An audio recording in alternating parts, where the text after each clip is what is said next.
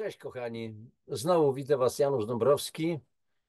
Piękny dzień e, dla każdego, Mm, chyba że ktoś widzi to inaczej. Dla mnie piękny, mimo tego, że jest, e, mam masę pracy, masę różnych obowiązków. Każdy ma to, trudno robić wyścigi, kto, kto jest bardziej obciążony i tak dalej, i tak dalej. Każdy ma swoje, więc e, nie ma sensu po prostu robić, mówię, wyścigów wy, robić wyścigi i, i, i przekomarzać się, a ja to mam więcej obowiązków, wiecie, to, to przypomina mi e, takie zawody w przychodniach medycznych, lekarskich, gdzie są ludzie, często starsi ludzie, no i się wymieniają doświadczeniami i, jedna pani mówi, panie, bo ja mam to i tamto, a inny pan mówi, aj panie, a ja mam to jeszcze i to i tamto i siamto i wam to.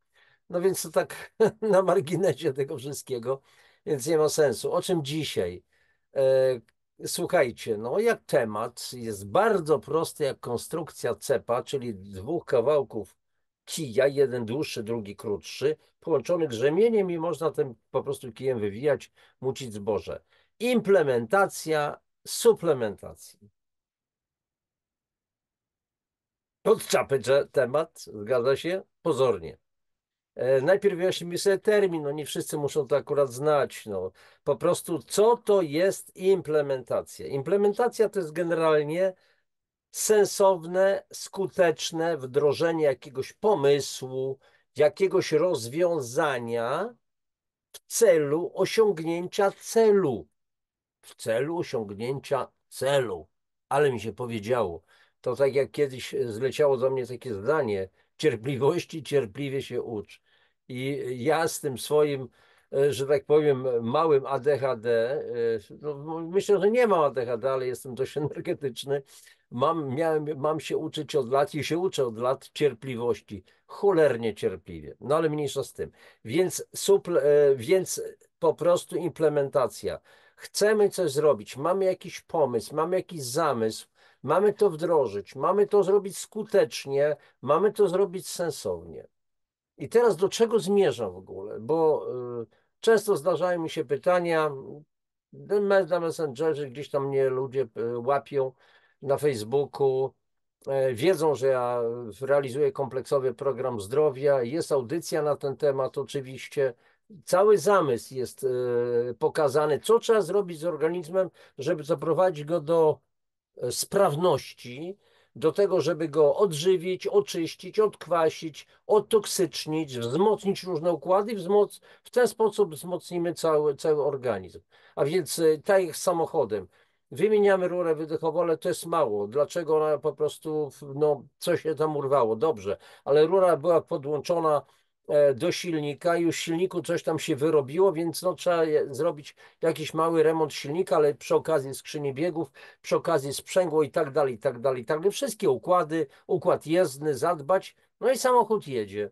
Jak zrobimy tylko fragment, dobrze, to może samochód przez pewien będzie czas jechał, ale za dwa tygodnie, może za dwa miesiące znowu do mechanika przyprowadzimy. Więc albo zrobimy to sensownie raz a dobrze, albo no dobrze, płaci, chodź do przychodni i tak dalej. Ja mam na myśli w, te, w tym momencie zdrowie. Więc e, łapią mnie ludzie, po prostu no, mają pytania. Jeżeli się wdajemy w taką dyskusję, to e, zdarza mi się, że spotykam osoby takich małych impertynencików czasami, którzy kompletnie nie, niepoważnie myślą o sobie i o swoim zdrowiu bo zadałem mi pytanie, no więc jeżeli dochodzi, że jest taki kompleksowy, bo słyszałem, słyszałam i tak dalej, e, to proszę mi to w dwóch zdaniach wytłumaczyć, na czym on polega. Dla mnie to w zasadzie koniec dyskusji, bo sami doskonale rozumiecie, że no, człowiek ma problemy i on chce, żebym w dwóch zdaniach mu wytłumaczył. Więc ja zada zadaję najpierw po prostu pytanie, a o co chodzi? Ale nieważne, ale proszę mi wytłumaczyć, na czym ten program polega. Ja w tym momencie, no, kończę. Zazwyczaj staram się być grzeczny i mówię krótko, no proszę pani, proszę pana, e, myślę, że sposób rozmowy pokazuje, że no nie ma sensu dalej prowadzić tej rozmowy, bo z tego nic nie wyniknie. Mm, takie są moje doświadczenia, więc o co chodzi? Nie chcę oczywiście być niegrzeczny, nie chcę się wymądrzać, rzecz jasna, ale yy, i po co w ogóle dzisiaj ta audycja? Żeby naświetlić wam pewien, pewien problem. Ludzie chcą wrócić do zdrowia. Dobrze, znaleźli niejakiego Janusza Dąbrowskiego, wiedzą czym on się zajmuje, no i chcą e, tak pciąg szybko załatwić sprawę. A to tak się nie da. Więc jeżeli ma być program, e, którego e, podstawą jest odpowiednia suplementacja, to ma być implementacja suplementacji, czyli wdrożenie tego całego programu, suplementowanie organizmu, ale trzeba postawić sobie pewne pytania. A w zasadzie to wówczas ja, jeżeli ktoś się do mnie zgłasza, ja zadaję pewne pytania. Tutaj troszeczkę zostało to uwzględnione. Kto, co, dlaczego, kiedy, jak. No i teraz wyobraźmy sobie, że ktoś y, z tych pytających idzie do lekarza i, i mówi lekarzowi, panie doktorze, y, proszę mi powiedzieć, y, jaki pan lek zastosuje, jak on działa szybko, i, ale tak szybko proszę, dwie minuty i proszę to załatwić. No owszem, lekarz ma zgodnie z normami NFZ-u 7 minut na pacjenta, o ile dobrze pamiętam. Kiedyś mi jeden z lekarzy powiedział, że mamy 7 minut na przeciętnego pacjenta. To jest paranoja. Oczywiście żaden uczciwy lekarz nie będzie przyjmował swojego pacjenta przez, przez 7 minut. Y, może, może przez 20, może przez pół godziny. Nie wiem zresztą, ja nie chodzę do przychodni, więc się nie orientuję. Wiem tylko, że ludzie bardzo długo czekają w kolejkach. W ogóle system jest postawiony na głowie. Ale jeżeli ktoś ma problemy zdrowotne, to a trafia do mnie na przykład jako do człowieka, który no, E, o którym wie, że się długo zajmuje, że jestem być może w stanie mu pomóc, no to traktujmy siebie mm, bardzo poważnie. To już nie chodzi nawet o mnie, chociaż o mnie też chodzi, ale chodzi o siebie, człowieku. Nie ma e, cudownej pigułki i nie ma, e, proszę mi opowiedzieć w dwóch zdaniach. Jest audycja moja, kompleksowy program zdrowia. Dla przypomnienia jeszcze pod opisem te, e, tego filmu podam jeszcze linka na wszelki wypadek dla przypomnienia. I ja mówię, co należy zrobić i tak dalej. No ale ktoś jest ciekawy, no ale czym to zrobić? Dobrze, no więc słuchajcie, mogę to powiedzieć. Weź, będziesz miał paski pH do, e, do pomiaru porannego moczu, e, będziesz brał kolostrum, wymieniam, kolostrum, e, e, odpowiedni symbiotyk, Dalej, e, będziesz pił specjalną mieszankę ziołową, czyli specjalną herbatę, herbatę nazwijmy to tak. Będziesz stosował minerały o nazwie ProBalance na przykład. Będziesz co tam jeszcze? Mm, oczywiście żel specjalny alesowy i tak dalej. Proszę bardzo. A gdzie to kupić? O, i tu się zaczynają schody.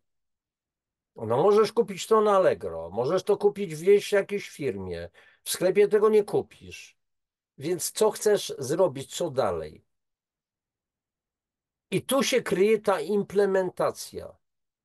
Ja jeszcze raz na zakończenie powiem, powiem. Implementacja suplementacji ma być z nami, na przykład ze mną, lub z ludźmi, którzy podobnie jak ja, e, realizujemy ten kompleksowy program zdrowia. Zresztą ja współpracuję z wieloma ludźmi w Polsce, którzy to robią. Między innymi z panią Gabrielą Kuklą, która w Radomsku prowadzi już, wielu z Was wie, konferencję zdrowia i współpracy. Jest naprawdę rewelacyjna dziewczyna, bo pracuje z poziomu serca przede wszystkim i wielu ludziom pomaga, mm, między innymi ludziom, którzy chorują na nowotwory. Ja zresztą też i wielu ludzi z zaprzyjaźnionych z nią, których ona uczy, e, wdraża do tego po prostu systemu. Wspólnie to po prostu robimy, pomagamy. Na nasze konferencje przyjeżdżają naprawdę fachowcy, między innymi pani e, doktor nauk medycznych Marta Woźniak, naukowiec, która pracuje w Uniwersytecie Medycznym we Wrocławiu, rewelacyjna kobieta, rewelacyjny człowiek z wielkim sercem, y, fantastyczne wykłady i tak dalej. Ale to tak na, takie marginalia, chociaż bardzo ważne. I teraz, jeżeli ktoś się do mnie zgłasza, to przede wszystkim powinniśmy porozmawiać. Ja zadaję pytania, czyli nie można załatwić to w przeciągu w dwóch zdaniach. Przede wszystkim zadaję pytanie, o co chodzi, w czym mogę panu pomóc, w czym mogę pani pomóc. Dlaczego pani się do mnie zgłosiła? Pan się zgłosił do mnie. Ciągnie się opowieść. Ale czy zdaje, zdajecie sobie Państwo sprawę, że ja nie jestem w ogóle lekarzem? Ja się nie zajmuję leczeniem. To dlaczego żeście Państwo do mnie się zwrócili z prośbą o pomoc? Bo rozumiem, jeżeli rozmawiamy, to znaczy jest to w pewnym sensie prośba o pomoc. No tak, oczywiście. Dobrze. Z czym macie Państwo problem? No i, i teraz dopiero zaczyna się właśnie rozmowa. Dlaczego? Bo to są pytania z mojej strony nie dla, nie zas, dla zaspokojenia, tylko czystej ciekawości, bo Dąbrowski jest taki ciekawy, co tam się zdarzyło, tylko po prostu to jest po prostu wejście w problem, o co chodzi. Zaraz mam nadzieję, że to y, nie zapomnę o tym i to rozwinę troszeczkę. A więc dobrze, y, jest problem zdrowotny, choruje to, tamto, dobrze. A co do tej pory było, czyli y, co medycyna, co lekarze, jakie leki y, pan, pani brał, brała, brał i tak dalej, i tak dalej. Jak długo ten problem trwa? I tu dochodzimy do sedna. Kiedy, kiedy pojawił się problem? Na moim kanale, na playliście wywiady, są dwa takie wywiady z panią Kingą Dąbrowską o celiaki i y, cukrzycy typu 1 i później jeszcze powtórzenie, y, gdzie się pojawiła, pojawił się jej syn Radek. Kiedy nakręcaliśmy wywiad z, z nimi, to Radek miał 8 lat i od 5 roku życia chorował na celiakię i cukrzycę typu 1. I tam się dodatkowo mm, pojawiła jeszcze jedna osoba, która e, Anita Dzik, która prowadziła e, Radka w tej kuracji. E, dzięki tej kuracji Radek wyszedł z cukrzycy typu 1, bardzo trudnej cukrzycy oczywiście, ona jest gorsza niż cukrzyca typu 2 i z celiaki. Dobrze, ja pamiętam, kiedy rozmawiałem z Kingą, bo Kinga również trafiła do mnie no to, po prostu polecono, mówi Janusz, po prostu moja koleżanka, pani Anita Dzik, e, znajoma, poprosiła, mówi, może coś jeszcze doradzić. Dobrze. E, powiedziała, mówi Kinga, kiedy to zaczęło być ten problem? Wtedy, kiedy akurat Radek miał 5 lat. Okej, okay, dobrze, co się stało wcześniej i tak dalej, i tak dalej. I wspólnie doszliśmy do pewnych ciekawych wniosków. Ale zaraz do tego wrócimy. Ostatnio również e, traf, do mnie mama, e, mama pewnego chłopaka, też 8 lat, okazuje się mm, bardzo poważne schorzenie, oczywiście tutaj bez nazwisk w tym przypadku, e, bo ze zrozumiałych względów nie mogę, natomiast e, Kinga Dąbrowska wyraziła zgodę, nakręciliśmy film, miałem prawo go umieścić na YouTubie i tak dalej. Okazuje się stwardnienie guzowate, no i też podobnie rozmawiamy, rozmawiamy, rozmawiamy, kiedy to się stało, no i bo to jest bardzo ważne, słuchajcie. Y, znaczy, w ogóle dlaczego ja o tym mówię? Bo y, mówię o tym, żeby naświetlić problem, znaleźć potencjalną przyczynę y, problemu zdrowotnego. No i co się okazało? No dochodzimy znowu wspólnie do pewnych wniosków, że najprawdopodobniej tą przyczyną jest przesunięty w czasie NOP, czyli niepożądany odczyn poszczepienny. To się zdarza. I teraz pytanie jest, dlaczego dzisiaj tyle dzieciaków choruje? To jest cukrzyca typu 1. Ja w moich audycjach mówię, że jeszcze 10-15 lat temu cukrzyca typu 1, bardzo trudna, gorsza niż cukrzyca typu 2, która jest nabytą z, z racji naszego stylu życia. Cukrzyca typu 1 to jest zniszczona trzustka i brak wytwarzania insuliny. I teraz y, ta choroba była charakterystyczna również dla dzieci, dla młodzieży, dla dzieciaków wieku mniej więcej 12 y, lat i więcej, a teraz ta bariera się obniżyła w dół. Już 5-6-letnie dzieciaki zaczynają chorować, a lekarze mówią nawet, że nawet, nawet, słuchajcie, roczne dzieci na cukrzycę typu 1. To czym to jest spowodowane w takim razie? To jest na marginesie, bo wracam do tematu. A więc chodzi o to, żeby zobaczyć, co mogło być przyczyną. I teraz okazuje się, dochodzimy wspólnie do wniosków, że miałem kiedyś taki przypadek, że pan miał e, sklerodermię. Jak chcecie, to zajrzyjcie sobie tam na Google, wygooglujcie, bo e, nie będę teraz opowiadał, e, co- co to takiego jest. I myślę, czym to zostało spowodowane? Choroba, choroba skóry po prostu bardzo poważna, to tak na marginesie. I zadaję, myślę, o co chodzi, coś wiem na ten temat. Y, A czym się pan zajmował? Czy się zajmuje? No, jestem y, lakiernikiem samochodowym. Proszę bardzo, już wiadomo o co chodzi. Czyli silne zatoksycznienie organizmu, zatrucie po prostu chem- chemią i sprawa załatwiona. I teraz oczywiście wiemy, co robić. A więc chodzi o toksycznienie, otoksycznienie, y, dawkowanie. Y, Wtedy określamy, czy to jest ciężki problem, czy to jest mniej ciężki problem, coś lżejszego. I teraz y, można spokojnie wówczas dobrać to, co trzeba dobrać, komponenty do programu, trzeba e, określić dawki, trzeba określić kiedy, co i tak dalej, jak brać, e, określić sposób odżywiania się, z czego trzeba zrezygnować, co, co, ewentualnie, że tak powiem, w- co ewentualnie uwzględnić w jadłospisie codziennym i tak dalej, i tak dalej.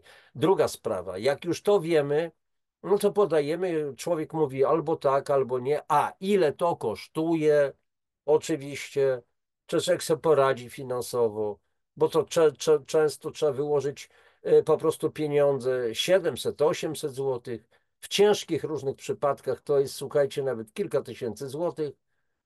Yy, Z tym, że ja od razu mówię, ja niczego nie sprzedaję. Ja nie mam sklepu z czymś tam, zresztą jak zajrzycie na mój sklep, to zobaczycie tylko moje książki. Ja tylko pomagam zdobyć to, co jest potrzebne, e, przekierowuję, e, pomagam i sprawa załatwiona. To jest jedna rzecz. I teraz e, oczywiście tutaj jest masa podejrzeń, tak, bo pan chce na nas zarobić i tak dalej. To oczywiste, jasne. Tylko jak na razie to na, ani, ani za, za żadną konsultację, ani za nic pieniędzy nie biorę. To jest jedna rzecz.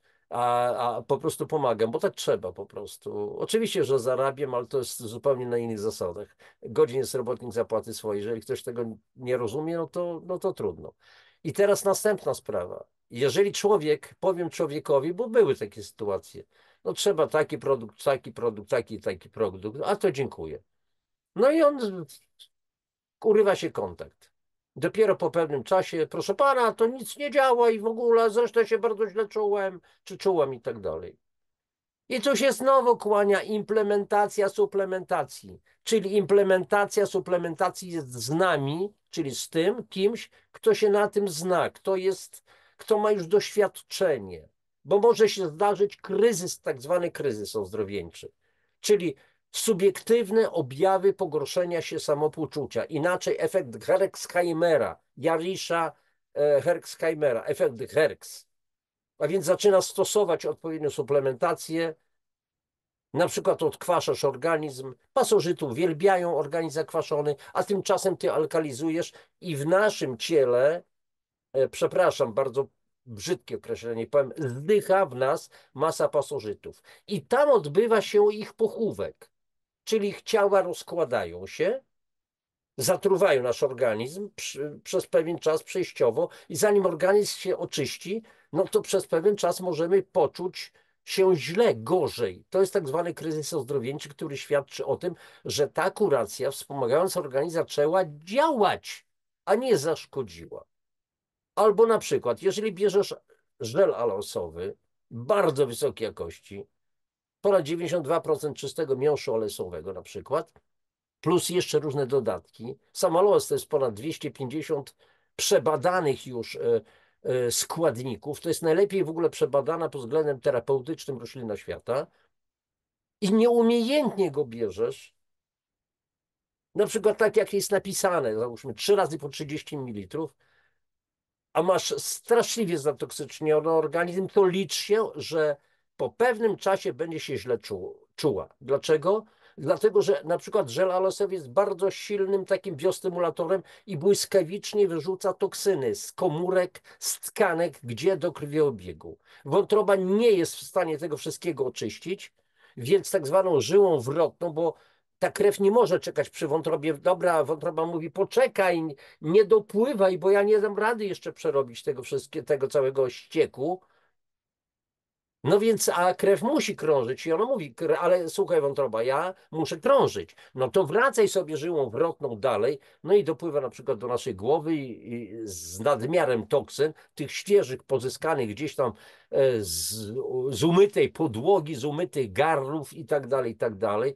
Pewna metafora i zatruwa nasz po prostu nasz mózg i ból, mamy ból głowy, bo te dodatkowe toksyny gdzieś, które były gdzieś tam w tkankach, komórkach, teraz są już w krwiobiegu. I to i trzeba o tym wiedzieć. I trzeba na przykład wiedzieć, że jeżeli jest cięższy przypadek, więc duże problemy zdrowotne, to zaczynam na przykład od bardzo małych dawek OLS-u. Bardzo mała dawka to jest pół łyżeczki, czasami trzy krople. Na przykład przy astmie to są dosłownie dwie, trzy krople przez tydzień, półtora.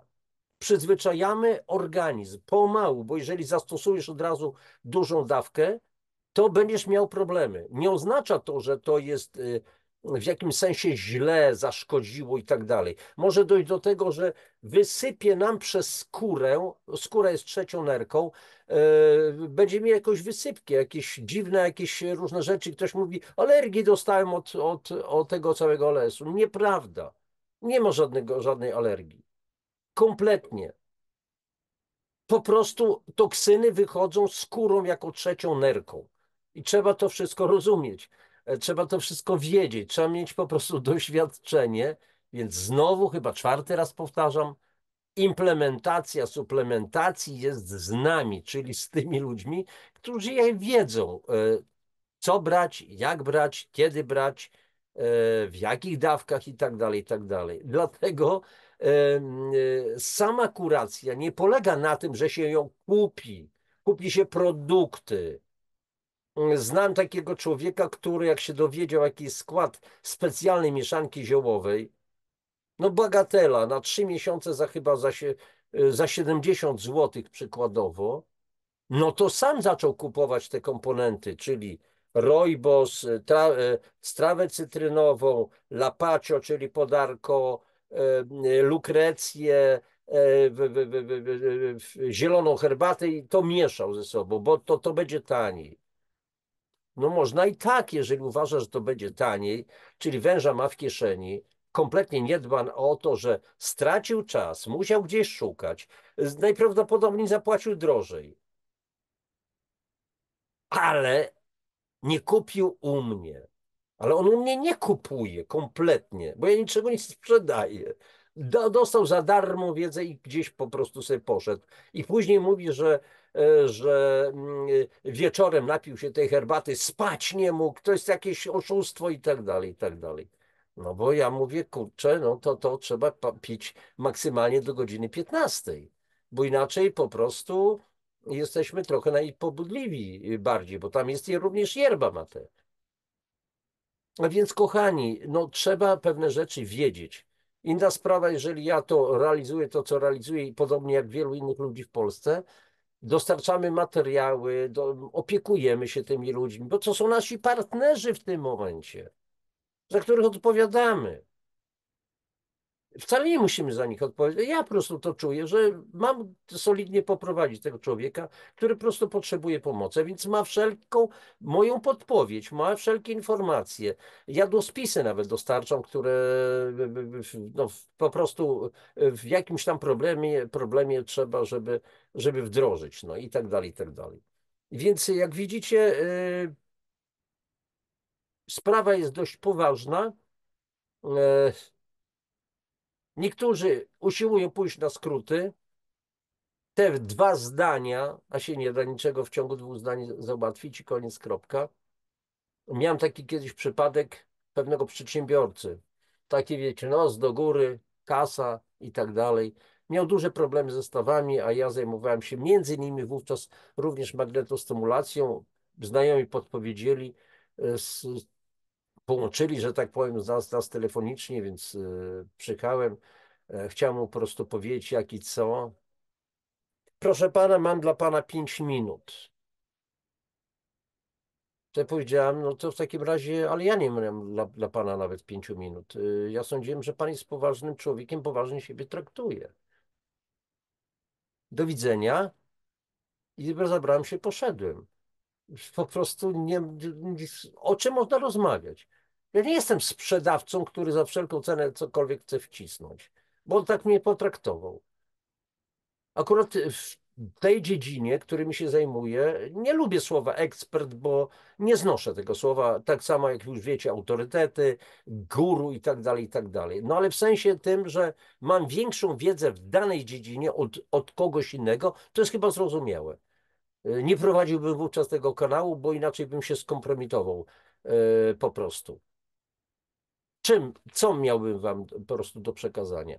A więc tego typu historie się zdarzają, natomiast się zdarzają na drugim biegunie i to jest znacznie więcej, takich przypadków, mm, gdzie po prostu ludzie potrzebują pomocy, zgłaszają się, opowiadają, rozmawiamy i dochodzimy do wspólnych, y, powiedzmy, jakichś takich y, racji, do, do wspólnych rozwiązań i ci ludzie zaczynają korzystać, ale ja ich wówczas cały czas prowadzę. Ja mówię przynajmniej raz w tygodniu, dwa razy w tygodniu, zwaniamy się ze sobą. Ja muszę wiedzieć, co się dzieje. Proszę nie krępować się, proszę dzwonić. Jeżeli nie będę mógł odebrać telefonu w danej chwili, to dzwonię po prostu zwyczajnie. Ale muszę wiedzieć, co się dzieje. Jeżeli się coś pojawi, e, tak jakby pogorszenie się samopoczucia, proszę dzwonić. Chociaż mówię o tym, że może być ten kryzys ozdrowieńczy, o którym już mówiłem przed chwileczką i tak dalej. Wyjaśniam dlaczego i to jest błogosławiony objaw, a nie coś gorszego. To tylko świadczy o tym, że e, powiedzmy e, cała sprawa, cała ta kuracja zaczęła po prostu działać pozytywnie. Słuchajcie, a więc e, jeszcze raz implementacja suplementacji jest z nami, czyli wdrożenie takiego programu ozdrowieńczego, programu oczyszczającego, odkwaszającego, wzmacniającego cały organizm, musi być przeprowadzona z człowiekiem, który się na tym zna, który was po prostu poprowadzi. Inaczej to naprawdę nie ma najmniejszego sensu. Dlatego jeszcze raz, po raz chyba szósty, implementacja suplementacji jest z nami. E, cześć kochani, życzę wam wszystkiego dobrego. Dziękuję, że znowu żeście mnie wysłuchali. Trochę dziś taki trochę żartobliwi, takie dziwne, dziwne jakieś sformułowania, implementacje i tak dalej, ale już wiecie o co chodzi. E, nic strasznego nie ma. Wszystko można wygooglować, zresztą Uncle Google wie wszystko. Jeżeli audycja Wam się to spodobała, jeżeli coś się rozjaśniło, wyjaśniłem pewne rzeczy, to proszę po prostu o lajki, o subskrypcję. E, proszę o to, żebyście zajrzeli na przykład na moją stronę internetową www.januszdabrowski.pl. E, zapoznajcie się z tymi książkami, które tam są. Może zechcecie jak którąś z nich zamówić, bo tam jest kolosalna wiedza. E, mówiłem Wam wielokrotnie o tym, że to jest od końca ubiegłego stulecia pracuję, czyli ponad 25 lat już w tej chwili. Mm, a więc jak ktoś czasem mówi, proszę w ciągu dwóch zdań to powiedzieć, no wiecie co, w moich książkach tych 21, no tych zdań jest cała masa, więc, a ja nie mam tego do siebie, żebym umiał bardzo lapidarnie się wyrażać, więc co najwyżej kończę z takimi ludźmi rozmowę. Nie z wami, bo jesteście moimi przesympatycznymi gośćmi. Dziękuję wam za wszelkie komentarze, za wszelkie, e, nawet że dzień dobry, witajcie, E, dziękuję za wiedzę. Tego typu komenty są dla mnie po prostu bardzo cenne. Trzymajcie się, wszystkiego najlepszego.